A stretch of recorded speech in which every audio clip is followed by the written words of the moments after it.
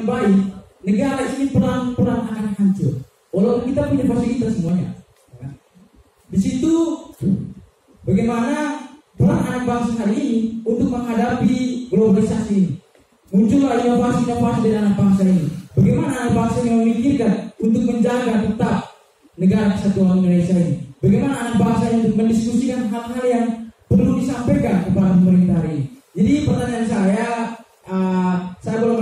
mendengarkan arahan yang konkret dari tiga narasumber pada siang hari ini mengenai rekonstruksi apa? Apa yang harus direkonstruksi hari ini? Mahasiswa hari ini khususnya. Rekonstruksi apa? Untuk menjadi mahasiswa yang bisa menjawab, bisa memberikan solusi responsif dalam arus globalisasi ini. Mungkin cukup sekian pertanyaan dari saya. Kurang lebih saya mohon maaf. Selamat siang. Baik, terima kasih. Kawan Presiden dari PDRI selanjutnya kami silakan kepada kawan yang ada di depan untuk menyampaikan pertanyaannya. Baik, uh, salam Pancasila, salam solidaritas, salam literasi.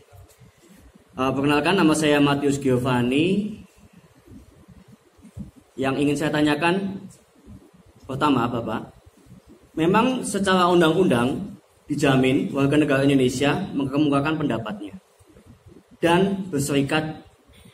Namun, apabila ketika ada suatu kelompok, saya tidak akan sebut inisialnya, sebut saja itu melakukan kegiatan diskusi yang menegakkan ideologi Islam. Saya mengatakan demikian. Mohon maaf, kampus yang tadi barusan berbicara itu harus uh, tanggal 28 baru ada kegiatan diskusi bersama kelompok tersebut. Saya tidak akan sebut jamnya, uh, mungkin nanti bisa langsung disampaikan. Apakah tanggapan Bapak terkait hal tersebut? Apakah betul kalau misalkan di sini ada Mas Wayudi, Mas Wayudi sangat tegas ketika kelompok tersebut melakukan kegiatan diskusi di wilayah kampus ini, dia langsung stop. Nah, bagaimana tanggapan Bapak Bapak sekalian dan termasuk dari komisi uh, di DPR? Yang kedua, mohon izin Bapak untuk anggaran pendidikan kita, kok rasa-rasanya masih belum cukup ya Pak ya, meskipun sudah 20% ya.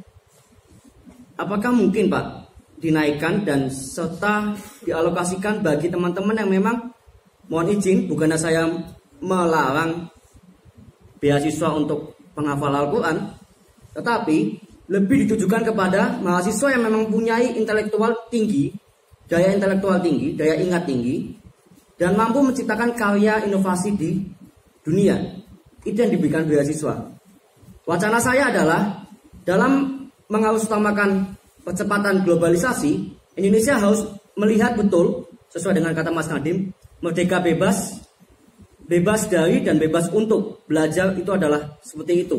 Nah, maka dari itu, apakah mungkin Pak dari komisi, mungkin bukan komisi Bapak, karena komisi 10 kan, yang menangani Mbak Esti Wijayanti yang yang menangani. Uh, mungkin bisa disampaikan dan mungkin uh, untuk biaya itu juga bisa disampaikan di teman-teman di forum ini. Yang ketiga yang terakhir, sebentar Mbak. Uh,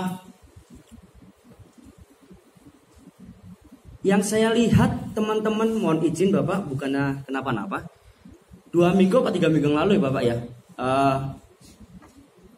rombongan bersama Ibu Mega, Puan, uh, Prabowo, dan beberapa komisi di DPR RI datang mengunjungi dan mengadakan SG Stadium General di Akmil. Eh ya, Akmil. Kebetulan saya ikut rombongan di belakang yang bis kedua dengan Pak Idam. Yang saya sampaikan begini Pak. Lebih-lebih Pancasila ini bukan lagi hanya sebagai nilai, tetapi harus diimplementasikan.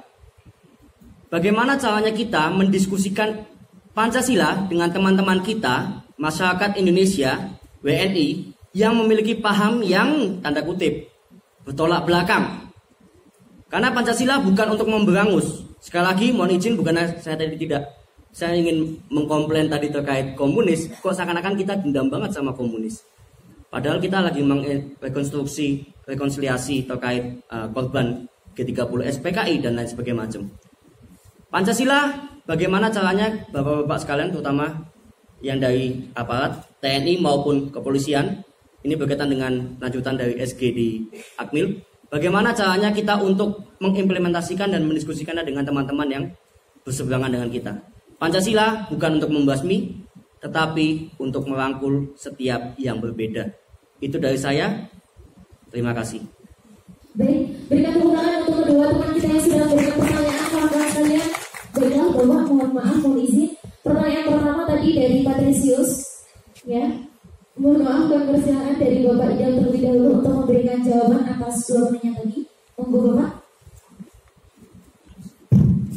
Eh, terima kasih. Patricius ya. Kalau keliru tolong dikoreksi.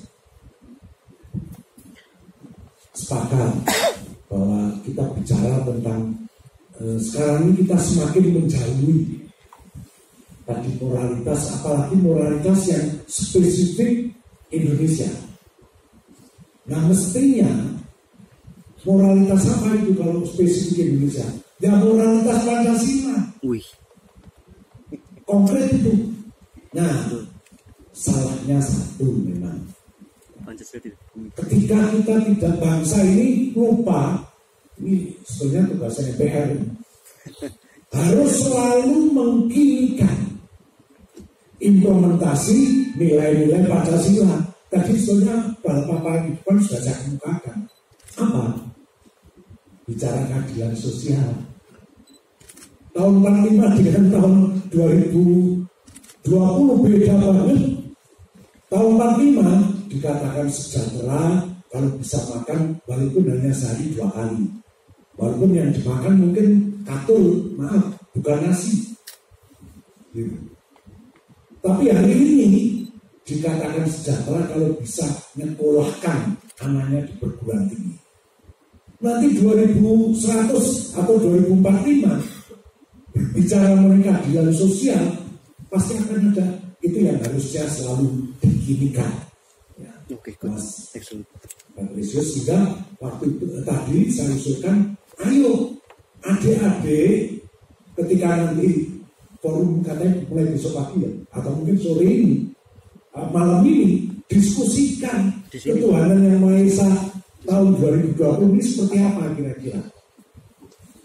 Tapi jangan pernah berpikir mengganti istilah pertamanya dengan yang lain. Ya harus ketuhanan yang Maha. Hanya implementasinya, kekiniannya seperti apa. Jadi konkret itu Mas Patricius eh, bagaimana mo- moralitasnya, moralitas Pancasila. Tapi kalau